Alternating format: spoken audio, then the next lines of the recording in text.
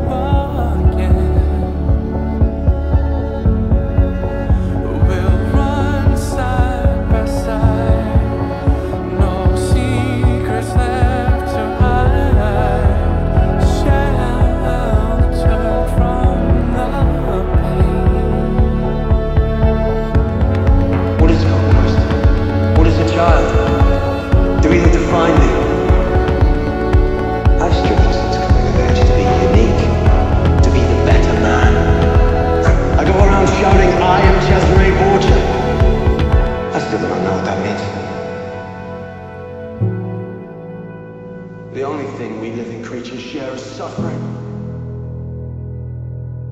Just as Jesus suffered. And in that way, we are like God.